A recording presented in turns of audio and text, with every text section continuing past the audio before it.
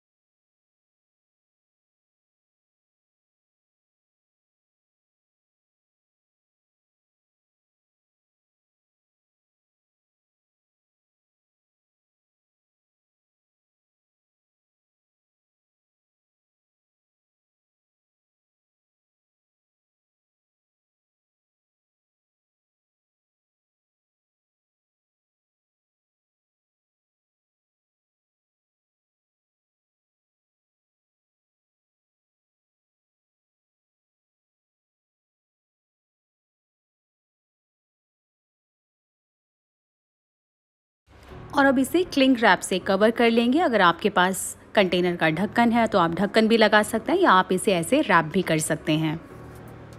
और अब हम इसे फ्रीज़ कर लेंगे आठ से दस घंटे के लिए, या आप इसे ओवरनाइट भी फ्रीज़ कर सकते हैं।